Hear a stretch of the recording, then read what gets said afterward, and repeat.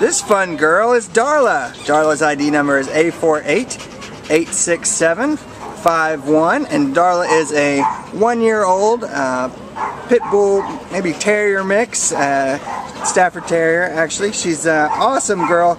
She has really cool eyes. You look, she's got like these uh, bright blue eyes on one side. She is a really fun, loving girl. Um, her tail is underneath the uh, tent right now. There it goes.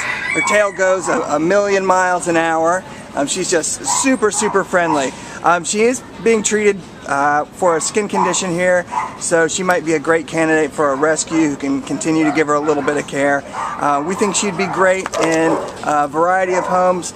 She's good with big dogs. May want to keep her away from smaller dogs, but uh, she's definitely good with bigger dogs. She's friendly.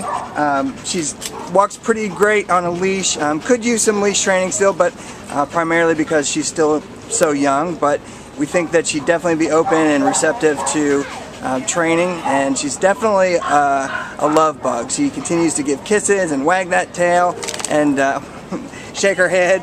We think she'd be just a great girl in somebody's home. She's got an amazing personality, and we'd love to connect her with just the right place. So come on down, meet Darla here at the Baldwin Park Shelter.